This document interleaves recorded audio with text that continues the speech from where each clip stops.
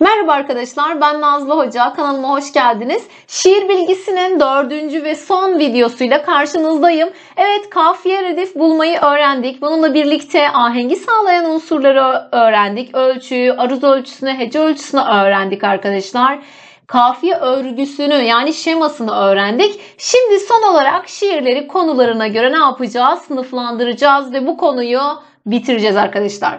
Evet şiirler konularına göre nasıl ayrılıyor bakın. Epik şiir, lirik şiir, didaktik, pastoral, satirik ve dramatik şiir olmak üzere gördüğünüz gibi arkadaşlar 6'ya ayrılır diyoruz. Peki lirik şiir ne demek? Buna bakalım. İçten gelen heyecanları coşkulu bir dille anlatan duygusal şiirlerdir arkadaşlar. Bu aşk da olabilir, bu sevgi de olabilir, nefret de olabilir, ölüm de olabilir, intihar olabilir, hüzün olabilir arkadaşlar. Değil mi? Karamsarlık olabilir. Ne olursa olsun bunlar duygusal temalar olduğu için bunlar ağır basar lirik şiirde. Bireysel konulardır. Kısaca bireysel temalardır. Evet dediğim gibi aşk, sevgi, ölüm ve ayrılık gibi konular. Lirik şiirlerde hedef kitlenin beynine değil kalbine seslenme söz konusudur arkadaşlar. Evet, açılan bir gülsün sen yaprak yaprak. Ben aşkımla bahar getirdim sana. Tozlu yollarından geçtiğim uzak iklimden şarkılar getirdim sana demiş Ahmet Muhip Dranas. Bütün sevgileri atıp içimden varlığımı yalnız ona verdim ben. El verir ki bir gün bana derinden, ta derinden bir gün bana gel desin arkadaşlar. Ahmet Kutsi Tecer'in Neredesin şiiri değil mi? Önemli bir lirik şiirdir canlarım diyoruz. Peki epik şiir ne demek? Epik, destansı, kahramanlık, savaş, yiğitlik, yurt sevgisi, vatan sevgisi gibi konuları dile getiren şiirlere biz ne diyoruz arkadaşlar? Epik şiirler diyoruz. Evet, yurt sevgisi, savaş, kahramanlık, yiğitlik gibi konuları dile getiren şiirlerdir. Epik şiirler bir milletin hayatında önemli izler bırakan göçler, savaşlar, doğal afetler gibi olaylarla yiğitlik, kahramanlık, mertlik, yurt sevgisi gibi duyguların destan havası içinde verilmesidir. Şu boğaz harbi nedir? Var mı ki dünyada eşi? En keşif orduların yükleniyor dördü beşi.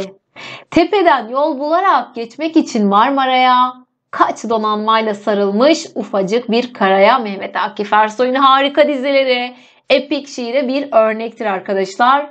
Köroğluyum Metin Merde yeğine, Koç yiğit değişmez cengi düğüne. Sere serpe gider düşman önüne, ölümü karşılar meydan içinde. Köroğlu biliyorsunuz zaten epik şiirleriyle arkadaşlar özellikle koçaklamalarıyla ünlü bir sanatçıdır diyoruz. Evet devam ediyoruz canlar. Pastoral şiir nedir?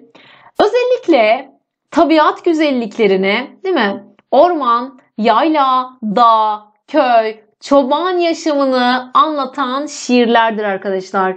Türk Edebiyatı'ndaki ilk pastoral şiir Abdülham, e, Abdülhamit Tarhan'ın yazmış olduğu Sahra adlı şiiridir arkadaşlar. Pastoral şiir iki türlüdür. E, İdil ve eglok vardır arkadaşlar. İdil dediğimiz şiir türü özellikle kır hayatını yani doğrudan doğruya kır yaşamını anlatan şiirlerdir.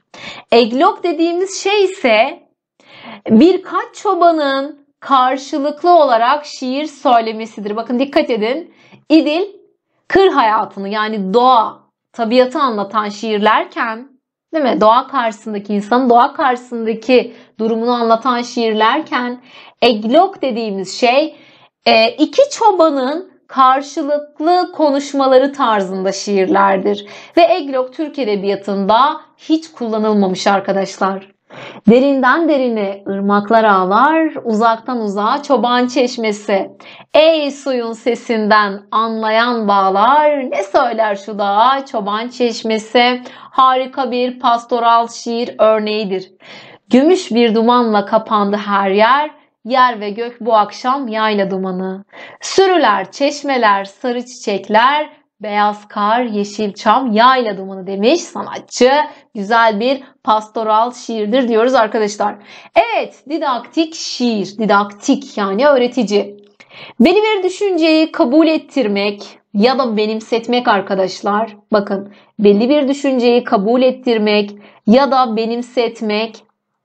Bu konuda öğüt vermek ya da herhangi bir konuda bilgi vermek ahlaki bir ders çıkarmak için yazılan öğretici şiirlere didaktik şiir diyoruz. Didaktik şiirlerde amaç öğüt vermektir. Duygusal yönden zayıf şiirlerdir arkadaşlar ve bu yüzden de sade kuru bir anlatımı vardır diyoruz. İlim ilim bilmektir, ilim kendin bilmektir. Sen kendini bilmezsen ya nice okumaktır demiş Yunus Emre. Kulak ver sözüme, dinle vatandaş. Uyma lak lak edip gülüşenlere. Seni meşgul eder işinde neler, karışır tembel perişanlara. Didaktik şiir örneğidir diyoruz canlar. Peki halde devam ediyoruz. Satirik şiir ne demek? Hemen bakıyoruz. Bir toplumun arkadaşlar bakın toplumun kişilerin ya da bir olayın kusurlu ve gülünç yönlerini alaycı ya da iğneleyici bir dille işleyen şiirlere satirik şiir diyoruz.